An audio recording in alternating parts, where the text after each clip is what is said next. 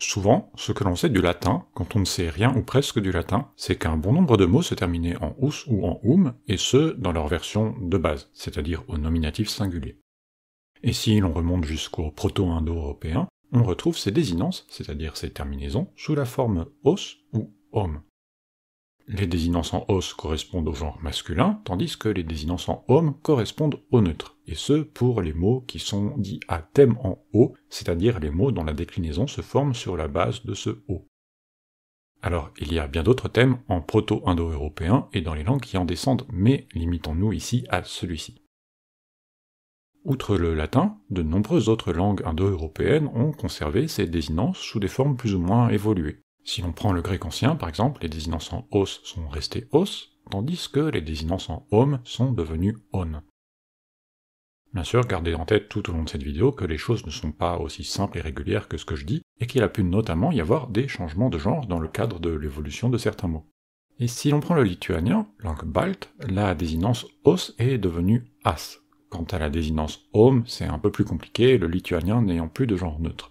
Mais sachez qu'en vieux prussien, langue balte aujourd'hui disparue, la désinence est devenue an.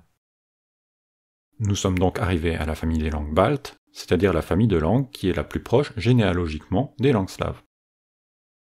Pourtant, dans les langues slaves actuelles, au nominatif singulier, les noms masculins se terminent aujourd'hui généralement par une consonne qui n'est suivie par aucune désinence, tandis que les noms neutres, eux, se terminent souvent par un O.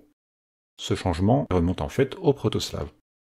Au fondement du protoslave et à la source d'une longue suite de phénomènes modifiant petit à petit le protoslave et le morcelant progressivement en ce qui deviendra avec le temps les langues slaves que l'on connaît aujourd'hui, il y a disons une tendance irrésistible ou presque qui s'est étalée sur une longue période.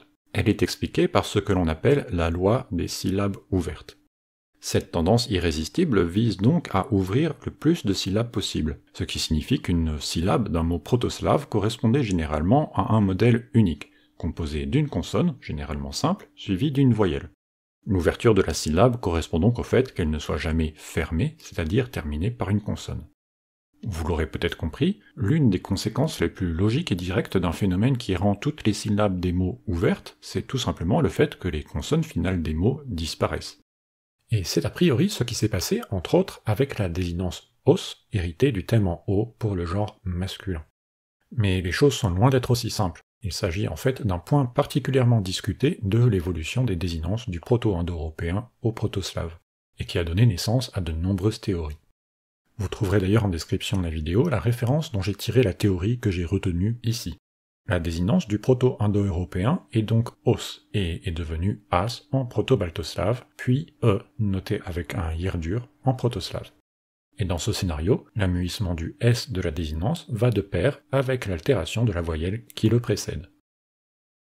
Quant à l'origine de la désinence O pour le genre neutre, elle est plus surprenante, mais est également plus proche de faire consensus auprès des linguistes. Car tandis que les désinences en homme ont donné âme en proto-baltoslave puis an en vieux prussien comme on l'a dit, le O du slave pour les neutres ne proviendrait pas de cette désinence. En slave, il semblerait que les neutres aient récupéré une autre désinence du proto-indo-européen, à l'origine utilisée pour des pronoms, la désinence od.